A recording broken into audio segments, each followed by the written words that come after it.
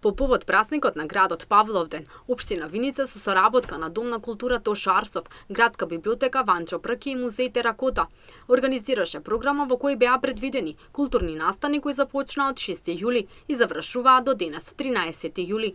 Културни настани започнувајќи со изложба, театарска представа, концерт, филмски фестивал за млади, промоции на книги, со завршување на оваа програма со поетско-музички перформанс.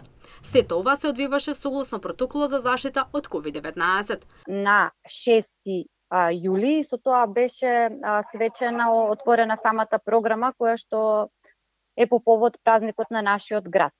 Во сабота на 10 јули имавме театарска представа Чувари на планетата, која што се одржа пред платото на Дом на култура Тошарсо Виница, наменета за најмалите љубители на театарската представа, тоест нашите ученици.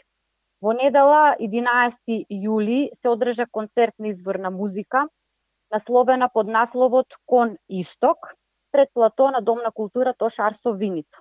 Продолживме со филмски фестивал за млади, Джифони патува во Виница, исто во Дом на култура Тошар со Виница во периодот од 12 и 13 јули.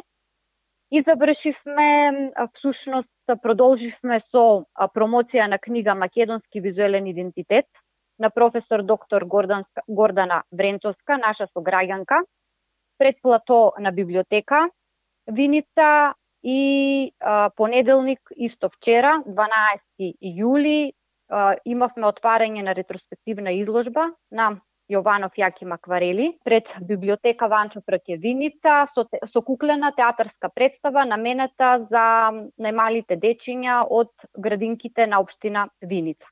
Значи, со тоа ја заокруживме програмата по повод Павловден, нашиот празник, На самите посетители им не достигаше ваков тип на културни настани со оглед на тоа дека поради пандемијата многу и не беа реализирани. Мене ми е драго и големо задоволство што можевме да реализираме оваа програма и што сите љубители на театарот и филмските манифестации беа задоволни, вели Стојанова. Сите љубители на уметноста, сите љубители на театарската представа беа почестени со нашата програма, значи имавме задоволни посетители, онака во ограничен број спрема протоколи, но сепак програмата се одржа.